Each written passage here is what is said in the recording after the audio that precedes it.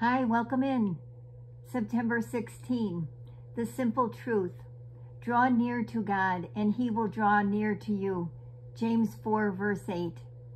God has not made living the Christian life an impossible task.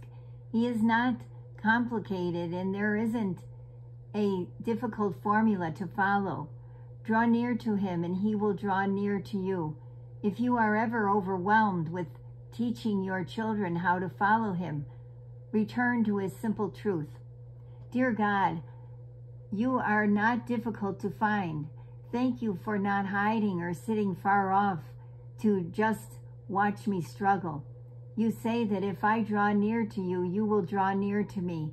Help me to remember this when I am overwhelmed, when I am overcomplicating my relationship with you. Remind me that it is as simple as being near you.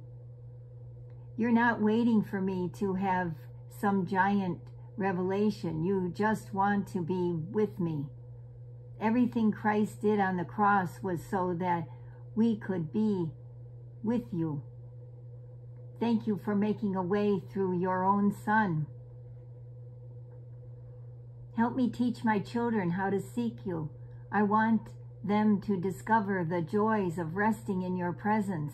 No matter where life takes them, may they start with firm foundations and roots that grow deep into your love. No matter what storms they face, may they always know that if they draw near to you, you will draw near to them.